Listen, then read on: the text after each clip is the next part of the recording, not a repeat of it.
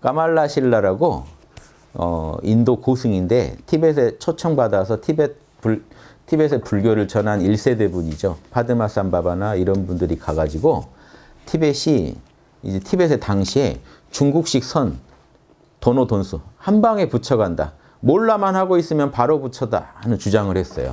그러니까 이해는 되시죠, 여러분? 몰라 하면 바로 이 견성이고 견성이면 바로 성불이다는 주장.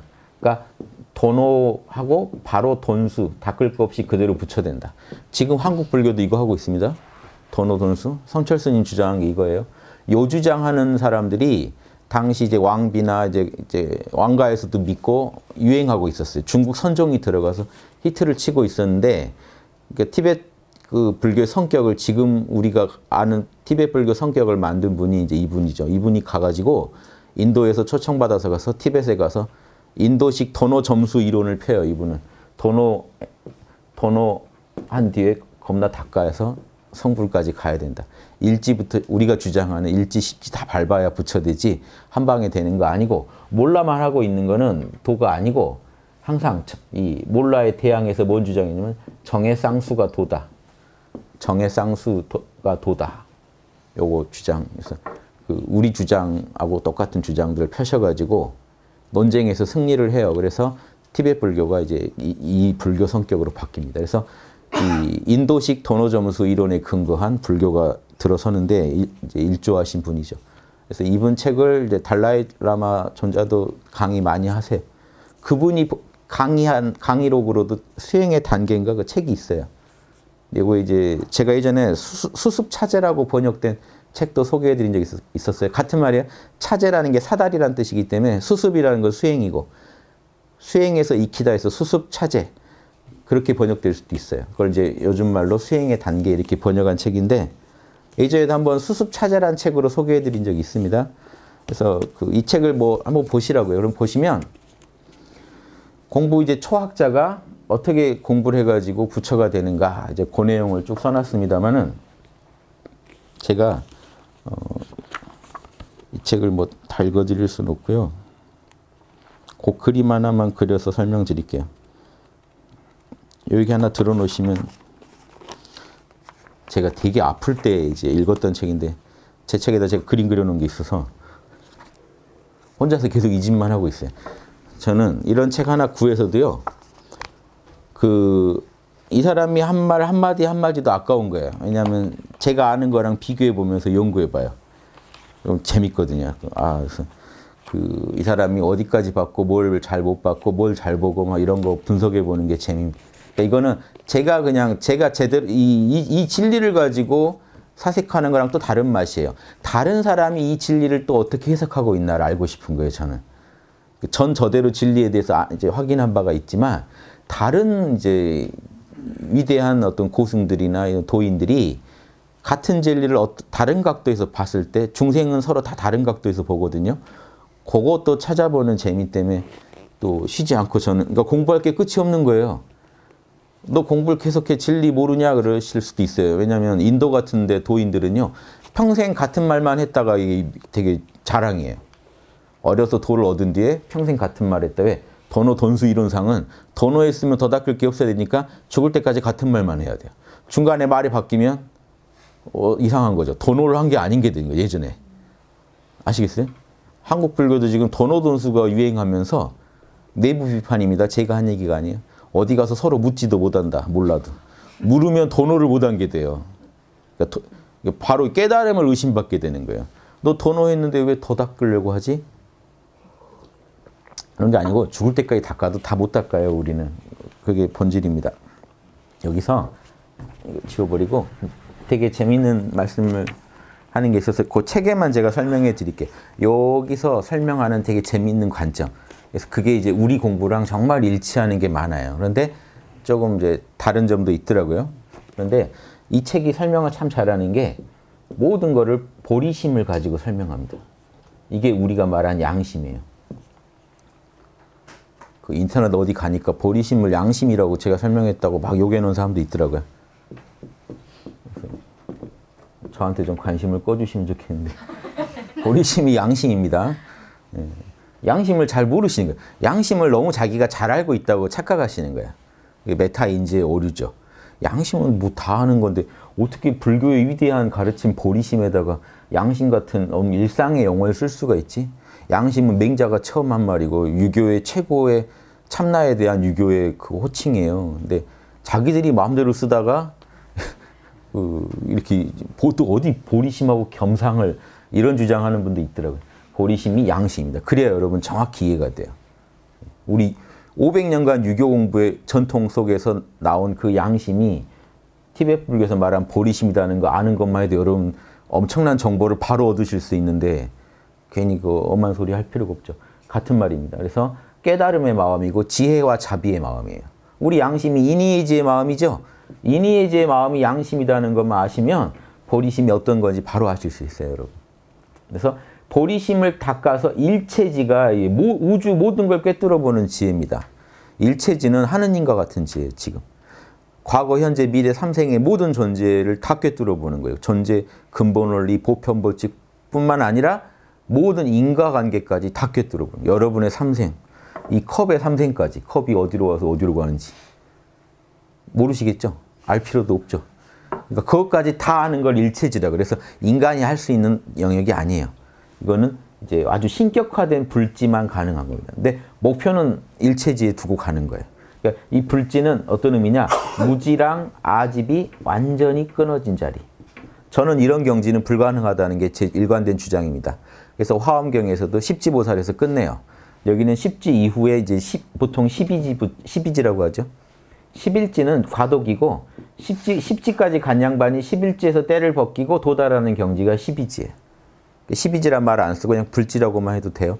그러니까 한 개성을 완전히 잃어버린 초월적인 하느님과 같은 존재입니다. 그래서 저는 그런 존재는 이미 우주에 비로전화불이 계시기 때문에 따로 또 이걸 이런 존재가 되겠다는 걸 말할 필요는 없다는 입장이지만 일체지를 목표로 합니다. 다른 게 아니라 보리심을 완전히 개발해 버리겠다는 보리심을 끝까지 내 양심을 개발해서 내 양심에 일말의 싹이라도 하나 있으면 그 싹을 찾아서 완전히 개발해서 성, 성인의 경지까지 가겠다. 이게 유교랑 똑같은 거예요. 측은지심 하나를 붙잡고 사단, 측은지심, 수호지심, 십이지심, 사양지심이라는 게 보리심에서 나오는 싹이죠.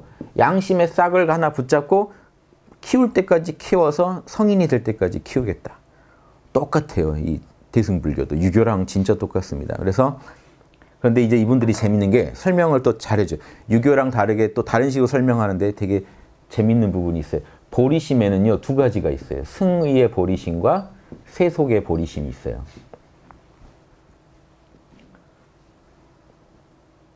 뭐냐? 승의는 절대계의 보리심이고 세속은 현상계의 보리심이니까 승의의 보리심은 뭐겠어요? 참나예요. 세속의 보리심은요? 육바라밀이요. 그럼 여러분 양심의 본 이거는 양심의 본체고 이건 양심의 작용입니다. 이해되세요? 이건 양심의 본체, 이건 작용. 그럼 여러분 참나 알고 육바람을 잘하면 되는 거죠. 뭐 육바람을 세속의 육바람을 닦는데 두 가지 또 보리심이 있어요. 이 책에서 설명하는 원 보리심과 행 보리심이 있습니다.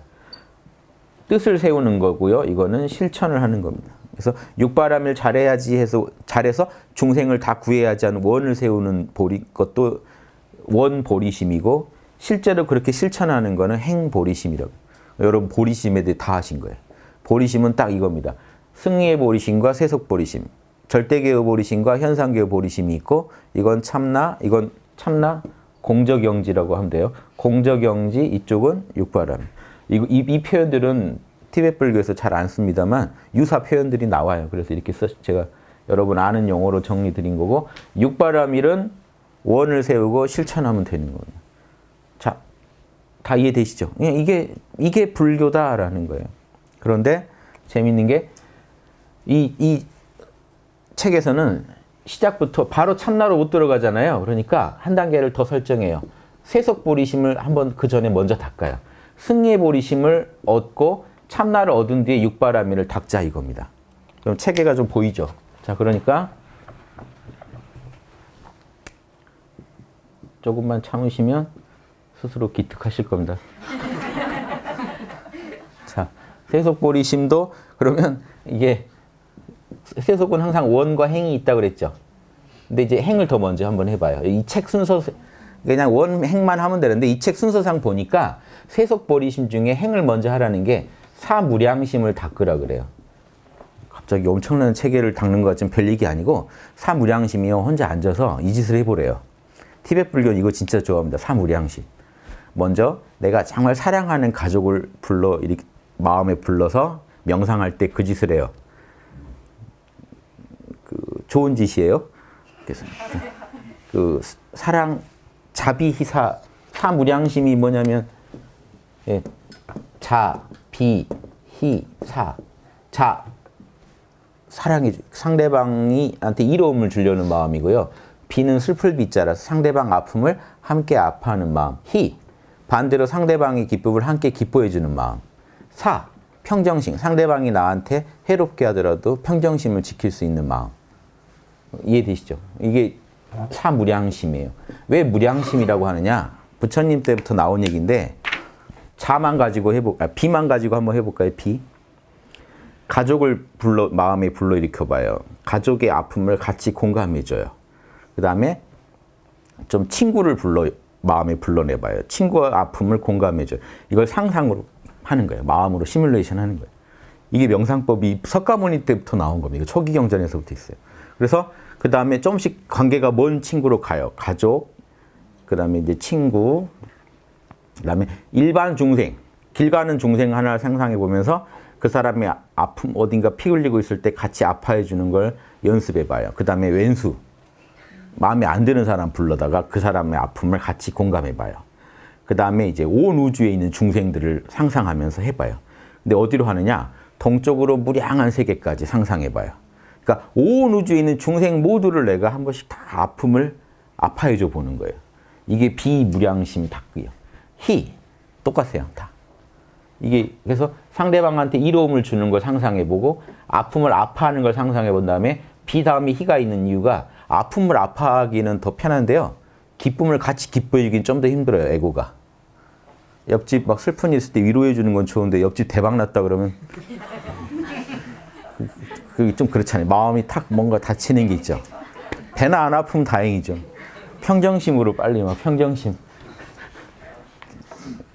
그러니까 이게 단계별로 이렇게 수행을 해요. 사무량심을 다 하고 나면 상대방에 대해서 초연해지면서 내 양심은 많이 개발되겠죠. 이, 이걸 시켜요. 이 책에서. 이걸 많이 하다 보면 근데 별게 아니라 엄청난 경지까지 가시라는 게 아니라 남 역지사지 공부 좀 많이 하라는 거예요. 역지사지 공부를 많이 행하다 보면 원이 생긴대요. 어떤 원이 생기냐면 야, 이 중생들의 이 아픔을 내가 도닦아서 내가 깨달음을 얻어서 보리심을 밝혀서 다 건져주고 싶다 하는 자리 이타의 서원이 탁 나와요. 이때 원, 서원을 해요. 자, 그 다음에 이제 뭘 행하느냐? 특히 정해쌍수를 닦아야 그 다음 뭐하냐? 참나를 깨달아요. 그리고 참나를 깨달은 다음에 본격적으로 육바람일 훈련에 들어갑니다. 그러면 이 육바라밀이 닦이는 정도에 따라 1지부터 10지가 나뉘고 마지막에 불지에 들어가요. 이게 이 책 전체의 체계입니다.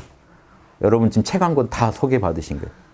이 책 전체를 다 읽으시면 상중하편에 세 편인데 이 책의 안에서만 얘기 같아요. 그래서 이분이 주장하는 게 이 처음에 이 사무량심 요게 대비심이라는 거고 그 자비심이고 일 자비심이 이 위대한 보리심을 밝혀 일체질 얻는 공부에 있어서 대비심이 가장 뿌리가 되고 이때 깨달은 이 우리 보리심 공적영지의 보리심이 원인이 돼서 마지막에 이 육바라밀의 방편을 통해서 그 궁극의 경지까지 간다. 그래서 이게 공, 이분의 공부 체계 이게 답니다.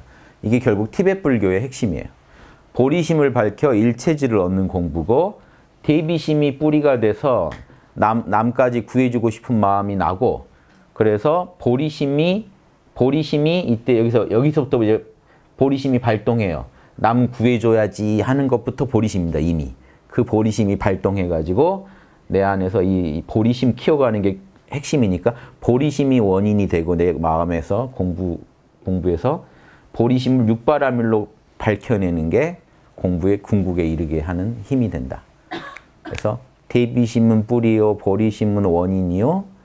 그 이게 그 서원부터 다 보리심이니까 보리심이 원인이 되고 방편 육바라밀로 보리심을 우리가 완성시킨다. 다르죠. 지금 한국 불교에서 듣던 얘기랑 좀 다르죠.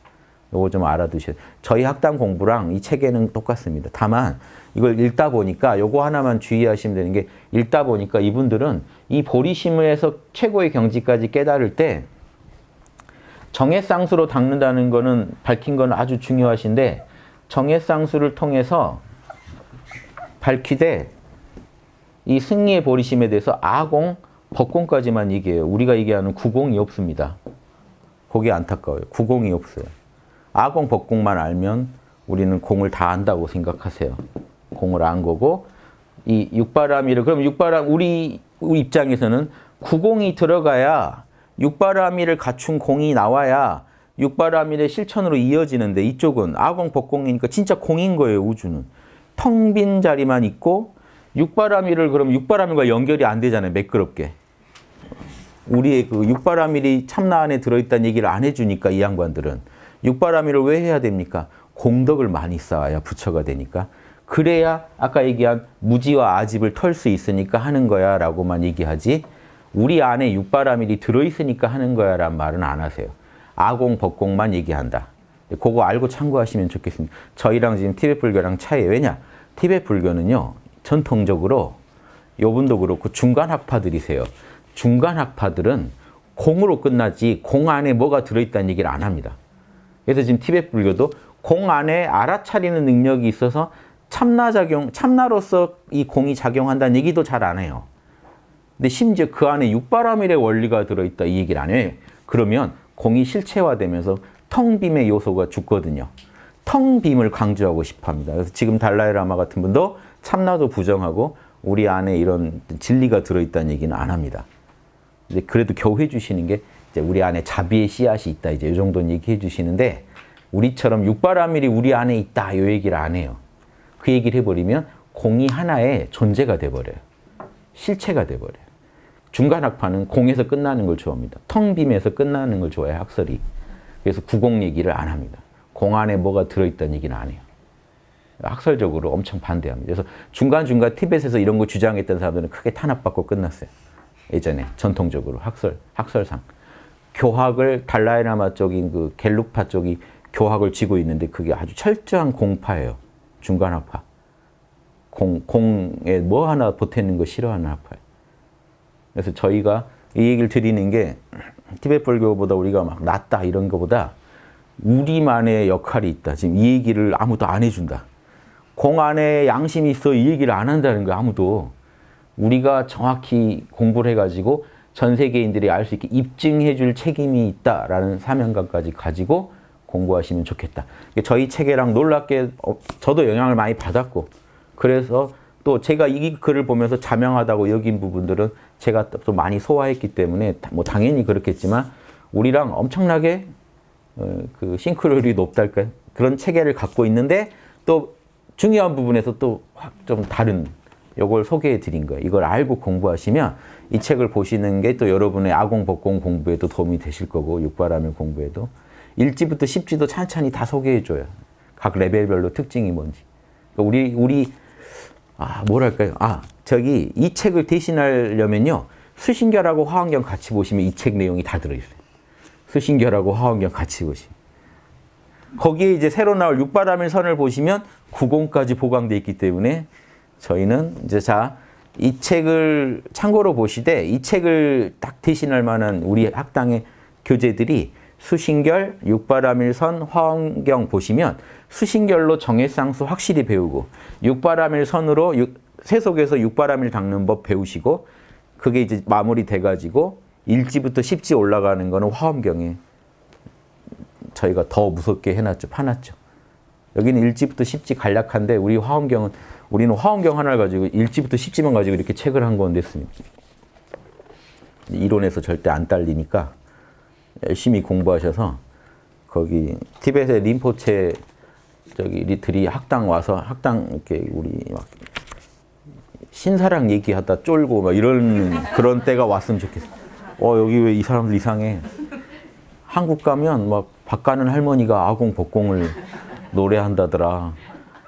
어, 학당 가면은 한국 가면 거기 함부로 아, 학당 가서 그 뭐 진리 가지고 법거량 했다가는 큰일 난다. 이런 나라가 됐으면 저는 원희옥 교수입니다. 마치겠습니다.